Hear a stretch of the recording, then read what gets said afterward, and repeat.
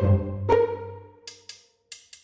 Bu tarz soruları bazen bu gelecek soruyu duyacaksınız. Almamın sebebi çok fazla bir beyinle ilgili hala mitlerle devam ediyor oluşumuz. Hatta Hmm. hatırlarsanız beyinle ilgili kullanılan sıfatlara dair mitleri araştırmıştık vaktiyle. İnşallah da bir gün yayın olarak gelecek. Nöromitler. evet, Hatta bu nöromitleri. konuda sevgili Safa Dündar arkadaşımızın, bir akademisyen arkadaşımızın matematik eğitimini bölümünde doktorasını yaparken yazdığı güzel bir makale var. Nöromits diye İngilizce aratarak bulabilirsiniz. Çok güzel Evet. derlemişti onları. Biz de hocam onları ölçek çevirdik bakalım. Onları konuşu yapmıştık.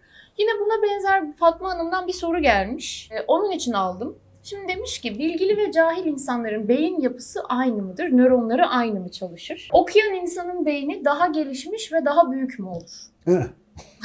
Yani böyle kısa bir cevap vermek Tamam. En güzel örnek yine mesela nasıl diyelim ona bir cihazı örnek vermek. Çünkü cihazları anlayabiliyoruz ya. Bilgisayar örneğini çok veriyorum. Benim şu bilgisayarımdan belki dünyada şu anda 1 milyon insanda vardır. Yani herkes satın alıyor bilgisayarı. Bu bilgisayarların hepsinin diyelim ki aynı modelin aynı özellikleri var. Her şey aynı tıkır tıkır. Fakat içine yüklediğin programlar, onunla yaptığın işler, depoladığın dosyalar, nasıl bir işte kullandığına göre bu bilgisayarın marifetleri değişiyor. Mesela şimdi benim bilgisayarım astronomik verileri analiz etmek için uygun değil. Çünkü o konuda bilgisi yani yazılımı yok, altyapısı yok. Öyle bir şey yüklenmediği için de özellikleri aynı olmasına rağmen bu bilgisayarın öyle bir yeteneği yok. Ama bu yazılımı yüklersen, uygun altyapıyı yaparsan, işte uygun ataçmanları takarsan atıyorum uydudan veri alacak bir eklentiyi USB'ye taktın şuradan.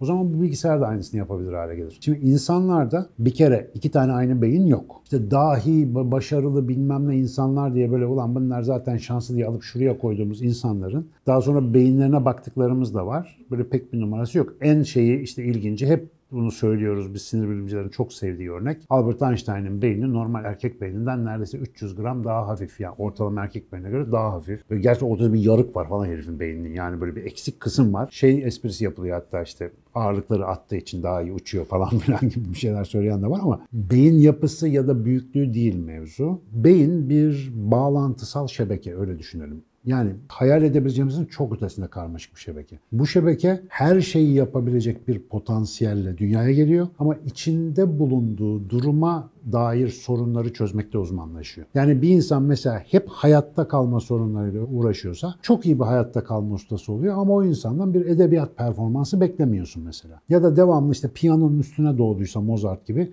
manyak bir müzikal yetenek çıkarabiliyor. O konuda bir dahi olabiliyor. O sistem neye göre programlandıysa öyle oluyor. Ama şunu da atlamayalım. Bugün belli bir konuya çalışmaya başladınız. Bu çalışmaya başladığınız konuyla ilgili yavaş yavaş bilgi ve deneyim aldıkça, o bilgileri, deneyimleri birleştirip içgörüler elde etmeye başladıkça, yani derinleştikçe o konuda beynimizde milyarlarca yeni bağlantı oluşuyor, yeni yollar oluşuyor, eski yollar değişiyor.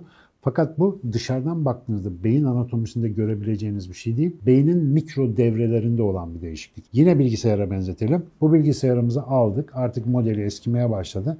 Götürdük kasayı, işlemciyi değiştirdik, yeni RAM taktık bilmem ne. Hani bu markada pek mümkün değil ama bazı markalarda yapılıyor. İçini değiştiriyorsun dışarıda kutu aynı. Değişen bir şey gözükmüyor ama mikroda değiştirdiğin şeyler nedeniyle bilgisayar beygir gibi çalışmaya başlıyor. Mesela daha önce yapamadığı bir sürü şey yapıyor. Upgrade mümkün. Yani bir versiyon güncellemesi, bir çalışma seviyesini yükseltmek mümkün. Bu da anatomikten ziyade tabirimi mazur görsünler, benzetebileceğim başka bir şey yok. Yazılımsal ve mikro donanımsal değişikliklerle alakalı. Yani kimse doğuştan dahi gelmiyor. Problemli doğabiliyor. Mesela hafif otistik benzeri davranış gösterebiliyor. Şimdi bu problem derken sosyal açıdan problem. İşte eğitimde sorun yaşayabiliyor, sosyal ilişkilerde sorun yaşayabiliyor. Sosyo-kültürel seviyeleri farklı yerlerde dünyaya geliyor. Oluyor çok farklı Evet. koşullar ama fiziksel olarak beyinde bir normal dışılıkla dünyaya gelen insanlar aşırı konsantre olabiliyor. Diğer insanların yapamadığı bir şeyleri yapıp ekstra avantajlar sağlayabiliyor. Ama onların da beynine baktığında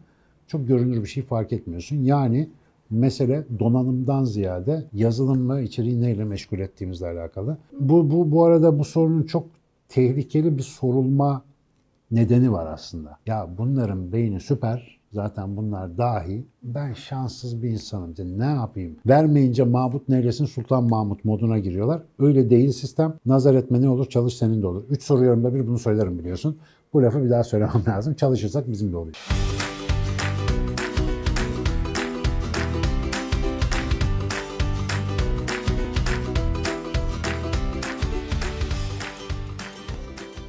Peki hocam burada gelecek sorulardan biri olduğunu tahmin ettiğim için soruyorum. Bunun için belli bir yaş var mı? Yani şey diye denebilir. İş benden geçti artık. Bu yaştan sonra bir şey değişmez. Veya sen daha çok gençsin hemen yüklen. hani bunun yaratacağı bir baskı veya bunun yaratacağı bir gevşeme olabilir. Bunun- Görünen o ki yok. Şöyle yok. Mesela gençlik döneminde daha evvel bunu konuşmadık galiba. Bence önemli bir konu. Bu konuyu soran olmamıştı ama sormuşsunuz gibi e, onu da araya sıkıştıralım. Hayatın belli dönemlerinde beynin belli hakim çalışma modları var. Mesela bebeklik dönemi, o kritik dönem dediğimiz ilk bebeklik dönemi başka bir öğrenme modu beyne hakim.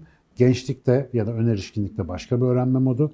Erişkinlikte başka, yaşlılıkta başka. Şimdi bizim artık yaşım geçti bundan sonra bende olmaz dediğimiz mesele gençlikteki o literal madde madde öğrenebilme yeteneği. Bu budur, şu şudur, şu şudur diye yeni bilgileri alma gençlikte daha iyi. Ama erişkin öğrenmesinde fark etmediğimiz bir avantaj var. Bağlantısal ve örüntüsel öğrenme çok daha kabiliyet kazanıyor yaş ilerledikçe. Mesela bu aralar hem hayat uzadığı için hem de imkanlar arttığı için insanlar ikinci, üçüncü, beşinci kariyer yapıyorlar. İkinci, üçüncü üniversitesini okuyan çok fazla insan var. Bazen çocukları yaşındaki insanlarla aynı sınıfta eğitim alan çok arkadaşımız var mesela. Mesela onlara bakıyorsunuz kendilerinden yaşça çok genç olan diğer program katılımcılarına göre çok daha üstün performans sergileyebilenler var. Onların nasıl çalıştıklarına bakıyorsun, nasıl öğrendiklerine. Bir kere önceden getirdikleri bir mesleki bir şekilde hayat birikimi var. O hayat birikiminin içerisine yeni aldığı bilgiyi bağlayarak koyuyor. Yani daha önceki bilgilerine bağlayarak onu bir bağlama oturtturuyor. Ve bizim zihnimiz bağlamsal çalıştığı için göreceli bir zihnimiz vardır. Bir şeyi bir şeye göre öğrenir. O bağlama oturtturabildiği için erişkin beyni öğrendiği şeyi bir bağlam içerisine oturtturduğundan gençlere göre böyle biraz daha farklı açıdan daha iyi öğreniyor. Mesela detayları hatırlayamayabiliyor ama konseptleri, bağlamları, anlamı çok güzel kavruyor. Mesela bir metodun detaylarını, inceliklerini belki kaçırabiliyor. Belki orada daha çok çaba göstermesi gerekiyor ama metodun kullanım yerine dair hemen bilgece bir öğrenme geliştirebiliyor. Ha ben bunu burada uygularım geliyor. Aslında hayatta uygulayabilme açısından yeni beceriler edinirken erişkin öğrenmesi daha avantajlı. Mesela siz işte çocukken diyelim bir enstrüman çalmayı öğrendiğinizde mıy mıy tıy tıy fıy fıy birebir çalışarak öğreniyorsunuz ama diyelim ki müziğe meraklı birisi ama vakti olmamış, ufak ufak denemeleri olmuş, gelmiş 40-50 yaşına neyse. Diyor ki ben falanca enstrüman işte piyano öğreneceğim. Şimdi piyanonun başına oturduğunda onun da çalışması gereken belli temel şeyler var. Fakat ilerlerken o melodiden aldığı geri bildirim, daha önce bildikleri birleştiğinde tuhaf bir şekilde hızlı ilerleyebiliyor. Belki parmaklarıyla hırlı virtüöz olmuyor. Hani bir fazıl say 50'den sonra olunmuyor ama çok tatmin edici bir şekilde kendi müzikal isteklerini dünyaya dökebilecek derecede piyano öğrenebilmesi mümkün. Fiziksel motor becerilerde daha zor ama entelektüel bilişsel alanda daha avantajlıdır erişkin. O yüzden hani şu benden geçti işini bir kenara bırakıp yani yumulmak lazım. Bu arada çok söyledim benim bir senem kaldı. 50 yaşından sonra piyano öğrenmeye söz vermiştim ama bunu 30'lu yaşlarımda yapmıştım. Tüh keşke demeseymişim demiyorum ama yapacağım inşallah. Allah kısmet eder de 50'yi vurursak ciddi bir piyano bir de İspanyolca çalışması olacak inşallah. Hocam kızınızı hoca olarak alacağınızı düşünüyorum. E tabi artık hocamızı da yetiştiriyoruz bu kadar süresinde. Melike Hanım bize bir kıyak yapar diye düşünüyorum bakalım.